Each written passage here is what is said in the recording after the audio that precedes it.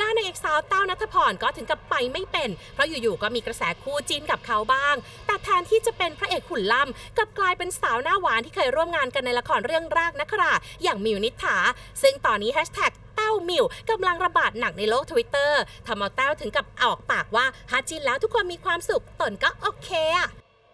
อาจจะด้วยความแบบเหมือนตัวเรามีความแบบแมนแมนๆอยู่แล้วด้วยอะไรอย่างเงี้ยค่ะคงแบบเวลาอยู่กับใครแล้วก็อาจจะแบบโดยเฉพาะอยู่กับมิวอะไรอย่างเงี้ยเราก็เราก็รู้สึกว่ากับมิวมิวก็น่ารักด้วยอะไรอย่างเงี้ยเขาก็เลยคงแบบเห็น moment นู่นนี่อะไรอย่างเงี้ยมันก็เคยเห็นแบบแบบๆนะแต่ไม่คิดว่ายังมีอยู่อะไรอย่างเงี้ยก็แปลกๆเหมือนกันไม่ค่อยปกติไม่ค่อยได้จิ้นกับใครแบบอย่างนี้อะไรอย่างเงี้ยค่ะเออถ้าเป็นความสุขของใครจากบางคนก็ดีค่ะดีดีค่ะ